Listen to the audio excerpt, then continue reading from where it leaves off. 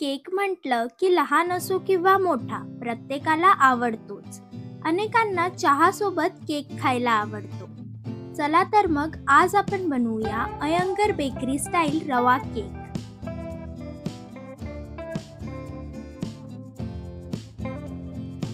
अर्धा cup fresh cream घ्यावी किंवा दुधावरची साय फेटून वापरली तरी चालेल. जर तुम्हाला फ्रेश क्रीम किंवा दुधावरची साय वापरायची नसेल तर पाव कप ऐवजी अर्धा कप दही वापरावे. इथे मी अर्धा कप फ्रेश क्रीम व पाव कप दही वापरले आहे. दही व फ्रेश क्रीम छान फेटून घ्यावे.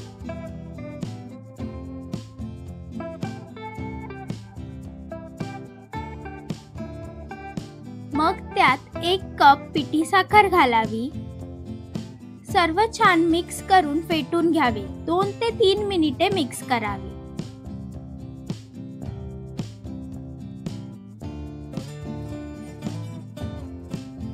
मग त्यात दीड कप बारीक रवा घालावा. बारीक रवा नसेल तर जाड रवा मिक्सरमध्ये फिरवून घ्यावा.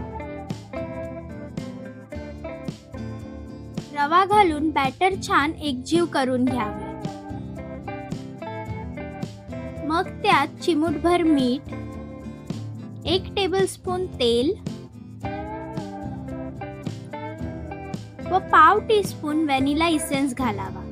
तुम्हाला व्हॅनिला इसेन्स नको असेल तर दुसरा कोणताही इसेन्स वापरू शकता.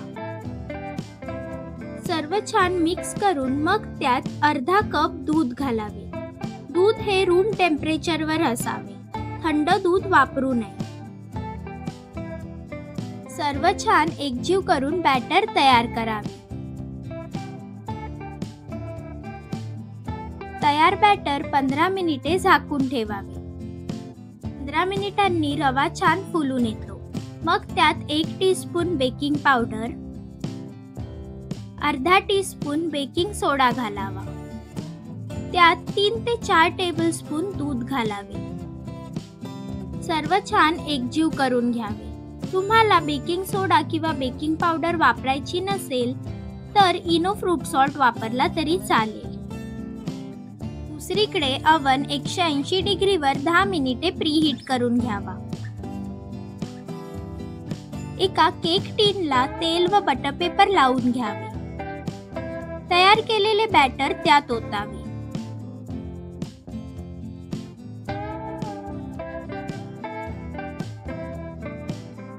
टीन टॅप करून घ्यावा. म्हणजे त्यात हवा असेल तर ती बाहेर निघेल.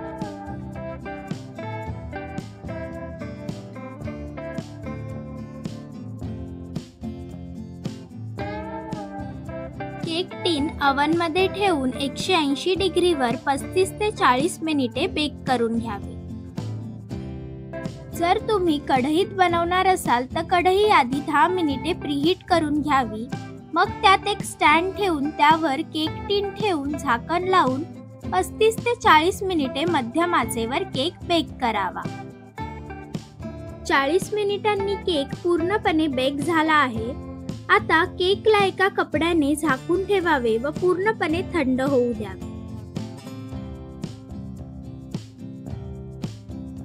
केक थंड झाल्यावर केकच्या कडा सुरीने मोकळ्या करून घ्याव्या व केक उलटा करून काढून घ्यावा. त्यावरील बटर पेपरही काढून टाकावा.